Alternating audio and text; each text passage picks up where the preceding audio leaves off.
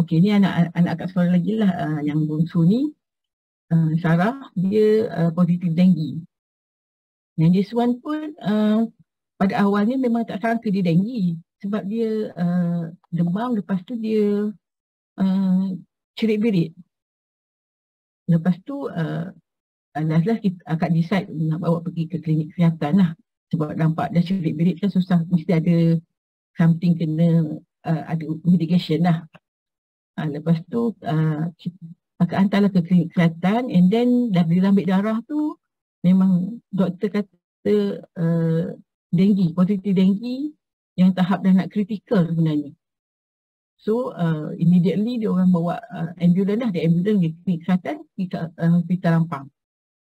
And then bila dah tahu macam itu, uh, akak terus bekalkan lah ME4 dengan uh, Alpha Lipid Lifeline.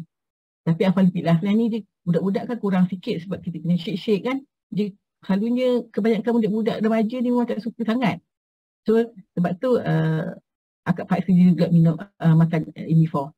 Sepanjang dalam dekat hospital tu akak suruh dia ni lah makan sekejap-sekejap macam itulah.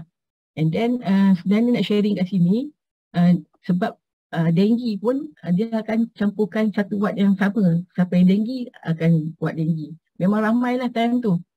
Uh, dan kebetulan uh, rakan sebelah tu, jiran sebelah tu, uh, dari sebelah anak akak tu, dia uh, kesian tengok lah, dia tak boleh makan, tak boleh minum. Bila makan dia muntah, minum dia muntah. And then habis badan dia kena cucuk dari tangan sampai kaki. And memang kesian sangat-sangat lah. Bila dah macam tu, akak nampak lah. Nampak uh, ada mak dia jaga kan. So akak sharing lah, cuba sharing dengan mak dia. Lepas tu mak dia bertanya, anak makan apa? Betul kata lah akak bagi email for je. And then uh, dia pun uh, bila cerita-cerita tu dia uh, rasa uh, apa tu nak mencuba jugalah. So akak bagilah uh, sebiji je email for. So anak dia uh, isap-isap lah. Lepas tu Alhamdulillah akak bagi tu uh, petang. And then the next day tu sebenarnya lepas tu dapat tahu anak dia dah boleh makan, dia boleh minum.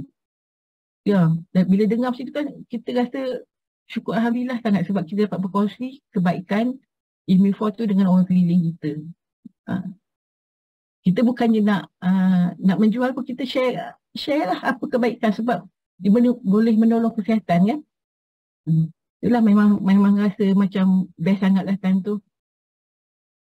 Okay, uh, tu last line lah. Last line dia memang kurang sikit nak minum. Tapi uh, mostly eh, before ni memang remaja, anak-anak memang suka.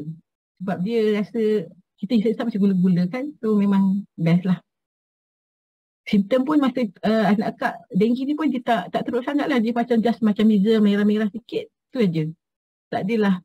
Selera makan dia okey.